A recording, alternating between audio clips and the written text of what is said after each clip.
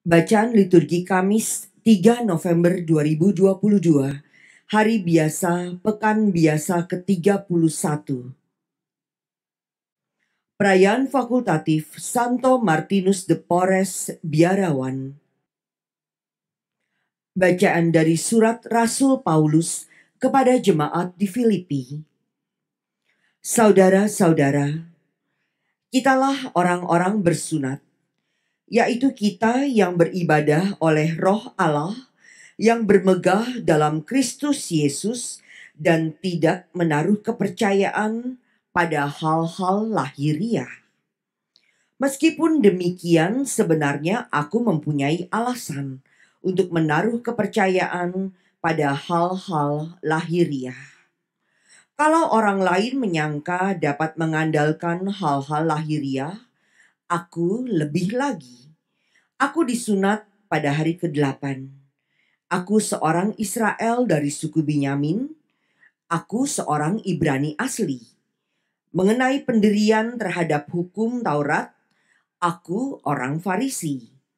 Mengenai kegiatanku dalam agama Yahudi, aku penganiaya jemaat. Mengenai kebenaran dalam mentaati hukum Taurat, aku tidak bercacat. Tetapi apa yang dahulu merupakan keuntungan bagiku, sekarang kuanggap merugikan karena Kristus. Malahan segala sesuatu kuanggap rugi karena aku telah berkenalan dengan Kristus Yesus Tuhanku. Sebab hal itu lebih mulia dari segala-galanya.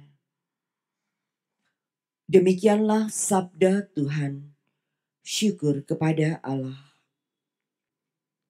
Biarlah bersuka hati orang-orang yang mencari Tuhan. Biarlah bersuka hati orang-orang yang mencari Tuhan. Bernyanyilah bagi Tuhan, bermasmurlah baginya, percakapkanlah segala perbuatannya yang ajaib, bermegahlah di dalam namanya yang kudus, biarlah bersuka hati orang-orang yang mencari Tuhan. Biarlah bersuka hati orang-orang yang mencari Tuhan. Carilah Tuhan dan kekuatannya. Carilah selalu wajahnya.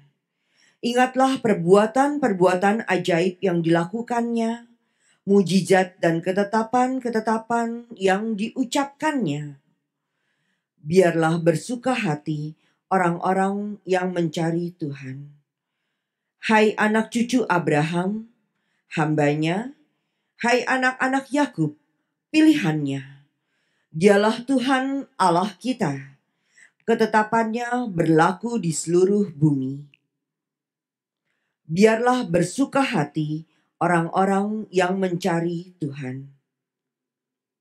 Haleluya, haleluya,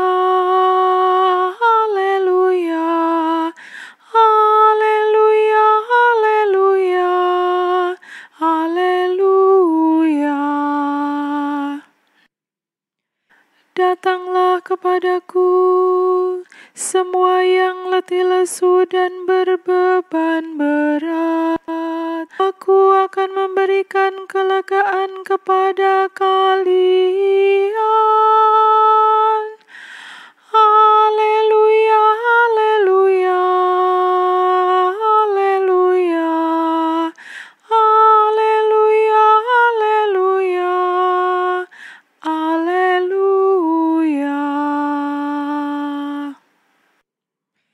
Inilah Injil suci menurut Lukas. Dimuliakanlah Tuhan. Para pemungut cukai dan orang-orang berdosa biasanya datang kepada Yesus untuk mendengarkan Dia. Maka bersungut-sungutlah orang-orang Farisi dan ahli-ahli Taurat. Katanya, "Orang ini menerima orang-orang berdosa dan makan bersama dengan mereka."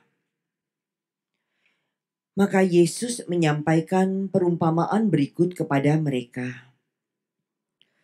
Siapakah di antaramu yang mempunyai seratus ekor domba, lalu kehilangan seekor tidak meninggalkan yang 99 ekor di padang gurun dan pergi mencari yang sesat itu sampai ia menemukannya. Dan kalau telah menemukannya, ia lalu meletakkannya di atas bahu dengan gembira.